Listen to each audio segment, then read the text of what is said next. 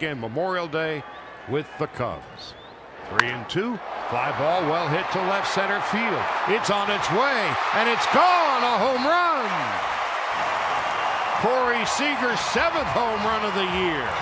A two-run shot has 23 runs batted in on the year. And the Dodgers are inching closer. It's 10 to 5.